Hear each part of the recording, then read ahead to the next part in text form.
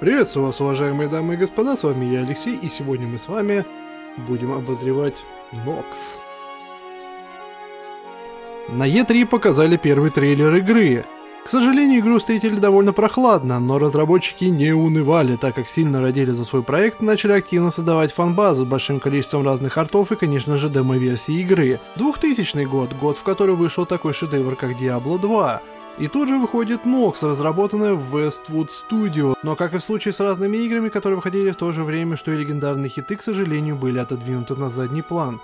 Но не будем предаваться унынию, так игра, о которой я сегодня расскажу, как раз таки имеет огромное количество плюсов который мы и с вами и обсудим. Внесу дополнительную ремарку. Официальной локализации для игры нет. Сейчас официальную игру можно купить только в Гоги и Origin, но они оба на английском, да еще и не играбельны на новых системах. Поэтому после танца с бубном показываю, как все нормально сделать, и вы сможете играть без лагов, вылетов, ну и после сворачивания, конечно же, русский текст. По поводу русской озвучки, к сожалению, не могу помочь. Но если сможете найти, например, от Фаргуса, как было у меня или любой другой компании, то получите отличный перевод, который дополнит игру и добавит ей атмосферности.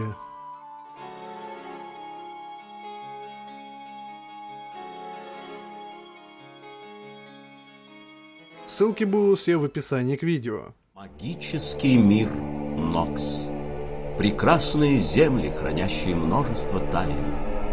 История этого мира очень трагична. Людям с юга удалось выжить, несмотря на постоянный террор северных некроманцев. Разработчики не стали использовать что-то банальное и сделали свой мир, который назывался Нокс. Мир, в котором некроманты с севера постоянно терроризировали мирных людей с юга, чтобы с помощью магии, а в этой игре все построено на магии, поднимать армию мертвых, ведь, как говорил мой детский психиатр, Алексей, ответьте, пожалуйста, на вопрос, кого в мире больше, живых или мертвых? Ну и как в любой нормальной книге по фэнтези, есть герой, который всех спасет, и нет, это не про нашего главного героя, а про Джандора, который прошел с огнем и мечом по землях мертвых и с помощью могучего артефакта жезла забвения заточил души некромантов в сферу. И вот вроде бы в мире наступил мир, но Джандор решил то, что для того, чтобы вся эта история не повторилась, нужно артефакт разделить на части. И эту алибарду, которая артефакт, который больше похож на Гуэндао, китайскую алибарду, решили разделить на три части. Одну часть решили как раз-таки алибарду отдать воинам, гарду решили отдать как раз-таки магам, и живую часть э, в виде лягушки решили отдать друидам. Последнюю часть, саму сферу, отправили на Землю, в будущее. Проклятый телевизор. Когда я буду править миром, я уже не буду обращать на это внимание. Так, так, так, так, так, как там было? Вот. Я взываю к силе всемогущей тьмы. Одно черное сердце и отвергнутая душа. Что за...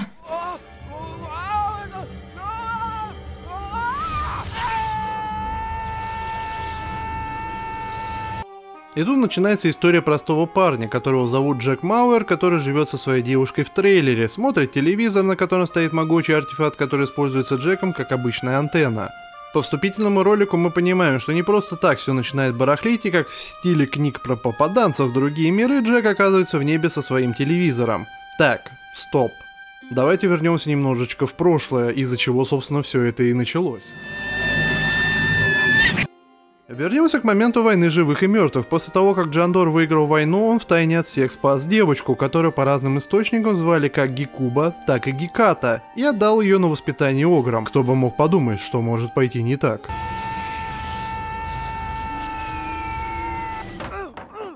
Вся сила магической сферы в моих руках. И вскоре души умерших будут принадлежать мне. Каким колдовством ты владеешь, если так атакуешь мой корабль? Отвечай, а не то тебе не на что будет одевать шапку. Мне нужна ваша помощь. Я не понимаю, что произошло. Не знаю, где я. Да нет здесь никакого места. Одни только облака. Но ты все равно не сможешь сбить меня с толку. А это еще что такое? Мой телевизор. И что же он здесь делает? Да ничего он не делает. Его можно смотреть. И за то, чтобы его не убивали на месте, он требует его телевизор. Уже после этого нашего героя вводят в курс всех событий, говорят, что ты избранный, что ты единственный, кто может нам всем помочь. Стандартная завязочка. Итак, нам наконец-то дают вполне стандартный выбор из трех разных классов. Это воин, чародей и маг. Но не все так просто. Каждый класс это отдельная история с отдельными локациями, с разными сюжетными поворотами, концовками и даже монстрами. Первый класс – это воин. Он атакует в лоб, использует всего лишь несколько видов магии, которые не требуют маны, ну как бы как магия, ну как бы физические атаки, ну вы понимаете. Любит тяжелую броню, тяжелое оружие, в дальнем бою только сюрикены Фума, которые можно получить в конце игры. Самый играбельный класс, все способности имеют простой кулдаун, ману не использует. Я за этого героя игру прошел целых три раза. Это показатель. Дальше идет чародей, он же друид. На самом деле, это довольно классный класс. Он владеет арбалетами, луками и умеет призывать животных. Основные его плюсы — это магии на разные ауры, в том числе он может сам себя лечить.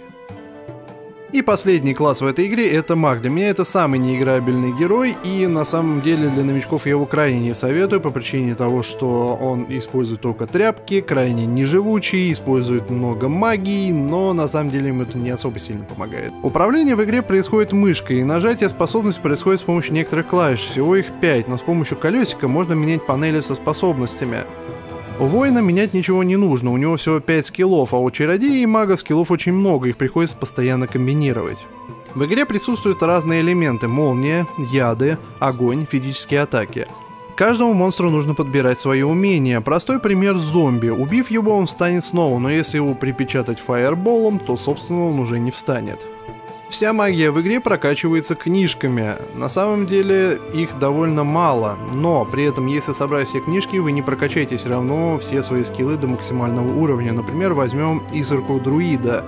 У него при использовании скилла и прокачке ее книги увеличивается количество искорок. То есть в начале игры, например, было 2 искорки, потом 3, 4, ну и так далее. Поэтому в каждом городе я советую сразу скупать все книжки, которые только вы находите. Может быть они вам пригодятся, а может быть и нет. Но на всякий пожарный лучше иметь в своем арсенале какие-то дополнительные магии, которые могут спасти вам жизнь. В игре есть огромная проблема. Это проблема с маной. Также почему я говорю про то, что игра за друида, так же как и за мага, довольно сложная, так вот это причина как раз таки мана. В игре ее очень мало, чем дальше по игре, тем больше вы ее используете, тем меньше вам ее дают. То есть, например, как яблоки, которые восстанавливают вам хп, таких тут нет. Тут есть только склянки с маной и есть кристаллы маны. Хочешь восстановить ману? Найди кристалл, восстанови ману, отойди от кристалла, жди секунд 15-20, подойди снова, восстанови ману, отойди так, пока не остановишься. А ведь в этот момент вас могут быть монстры, которые также используют магию. В общем, тяжеловато тут с маной. Про яд я ничего говорить не буду, выпил зеленый пот, яда нету, сожрал мухомор, получи головокружение, как у Сидра, учитывая, что есть осы с ядом, а на болотах куча мин с ядом, и так далее, мухоморы ваша лучшая еда. Возвращаясь к вопросу классов. Вопрос в том, что как раз таки маги, которые носят только ткань, друиды, которые носят только кожу, ну и конечно же воины, которые носят кожу и латные доспехи, есть огромная проблема в том, что постоянно не хватает денег. То есть новое обмундирование вы, скорее всего, покупать не будете. Игра заставляет вас искать различные тайники, а они находятся отнюдь не в самых доступных местах. Тот же воин может таскать на себе довольно большое количество различных вещей, так как у него есть много силы. Да, кстати, тут есть статы, которые прокачивать нельзя, но они есть. Продав все, мы получаем денежки. У друидов и магов все печально. У друидов можно покупать стрелы, они крайне дорогие, да еще и попасть в игре сложно, так как нельзя выделить цель, и в нее приходится стрелять на упреждение. Да еще и некоторые монстры ходят с щитами, которые прикрываются или отпрыгивают в моменты выстрела. По игре стрелы выдают крайне скупо, и урона луки наносят мало до момента, как игрок находится в середине игры арбалет. И вот тут-то оно наконец-то, сейчас буду убивать, но нет, как я раньше говорил, остановился смерть. Следующая большая проблема это поломка вещей. Когда ты бегаешь особенно за воина, ты постоянно танкуешь своей броней. И после того, как ты протанковал, у тебя потихонечку-потихонечку, но твои вещи ломаются. Что оружие, что броня. И не всегда, когда у тебя уже что-то сломалось, ты уже после этого видишь на своем герое отсутствующие элементы брони, и ты понимаешь, что твоя вещь сломалась, ее починить нельзя, она просто исчезает. В игре есть квесты. На самом деле их крайне мало, и делаются они крайне быстро, но они есть. Они очень скупые, пойди туда, убей того, принеси то, также в игре есть пасхалки. Например, играя за воина, в главе, где мы идем в башню магов, взяв яблоко и рубашку, можно наблюдать о безответной любви маги к девушке, он прыгает с балкона и разбивается. Или в главе за воина, когда надо пройти испытание, там есть череп первого испытуемого, с которым можно поговорить.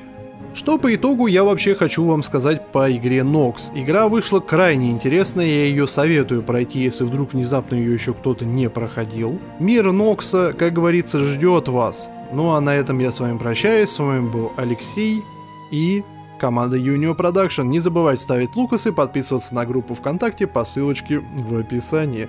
Всем удачи, пока и до новых встреч.